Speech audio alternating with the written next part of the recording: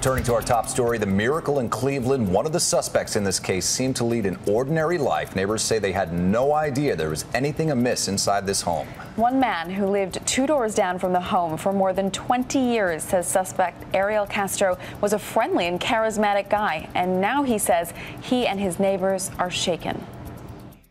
You are in shock right now. Yes, I've knew Ariel for all that time, since five years old.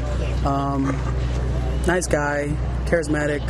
Um, he used to ask me when I was young, get on his uh, four wheeler, get on it, you know, ride ride with him. He was consistent in, in asking me. Describe his interaction with the kids on the block. It was he was a fun guy. I mean, uh, parents trusted him. He talked to the parents. You know, he was he was just a regular guy on the street, you know, that had a four wheeler, that had some bikes that parents trusted to let the kids uh, get on the bike with him, and he was just he was just loving, happy.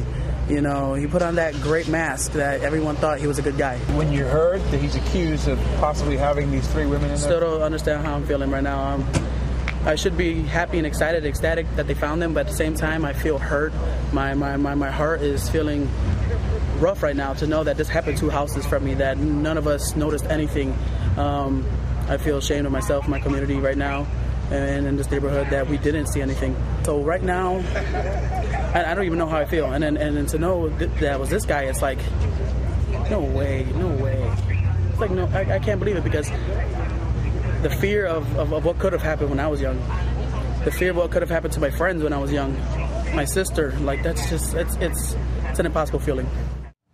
ABC's Alex Perez, they're interviewing a neighbor who lived two doors down. Powerful stuff. Police say the three women were held against their will in a home in Cleveland. It was just a few miles away from where they disappeared. Three brothers now arrested.